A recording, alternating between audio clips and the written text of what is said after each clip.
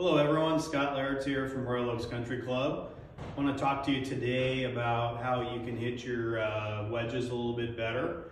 And I think we can define wedge play in two different categories.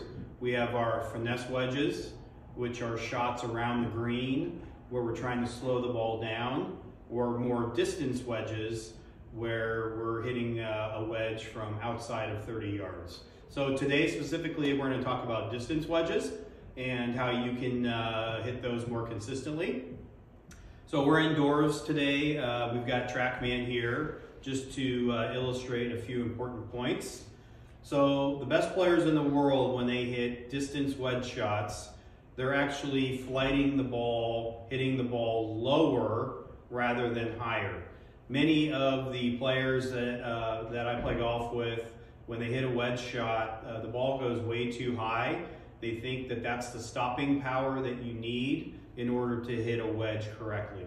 So think about this. If uh, we were going to toss um, golf balls onto a green and we are having a competition where we're trying to see who can get the ball to roll to the hole the closest, would you throw the ball way up in the air or would you naturally throw the ball a little bit lower to the ground in order to get that ball closer to the hole?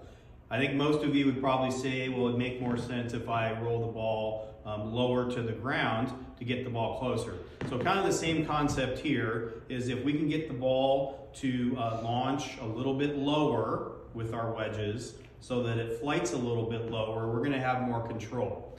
Now, um, as far as what that does to uh, spin, it's actually been proven using a launch monitor that if you can launch the ball in a 28 to 30 degree window, which means the ball comes off the club face at 28 to 30 degrees, there'll be more spin produced, backspin produced on a golf ball than if you launch it lower than 28 degrees or higher than 28 degrees or 30 degrees, okay? Now think about this. I have a 54 degree wedge in my hand. If I'm going to launch a ball at 28 to 30 degrees, there's got to be something dynamically that's happening with my golf club in order to launch that ball lower. So here's kind of the heart of the lesson here. How would we do this? How would we practice trying to launch the ball a little bit lower so we have more control and a higher spin rate? So the first thing we're going to do is we're gonna play the ball back in our stance a little bit towards our trail foot. That is going to give me the ability to take some loft off of my 54 degree wedge. And then number two, we're gonna try to feel like we have a little bit of a draw bias to both our path and our club face. So let me uh, hit a shot here to kind of demonstrate. So we're gonna put the ball back in our stance a little bit towards our trail foot. We might want to aim our feet a little bit to the left of the target. And then we're going to try to feel this draw bias so that we're coming in on a pretty shallow angle and I'm letting the club face rotate or twist. Now, why would I want that? Number one, I want less loft on the club at impact. But number two, if I can get the club face to rotate or twist this way in a closing position, the ball actually is um, going to stay on the club face for a little bit longer, producing more backspin versus most of us come across the ball from an out to in swing with an open face and the ball is going to ride up the face and you're not going to utilize the backspin that you need. Okay, so again, I'm going to go ahead and uh, demonstrate.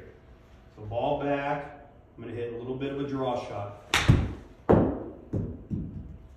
Okay, so as you can see, my dynamic loft on my club was um, almost 37 degrees for a 54 degree wedge.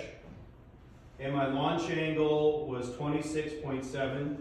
So it was close to that 28 to 30 degree window. And I had a spin rate of 5,800.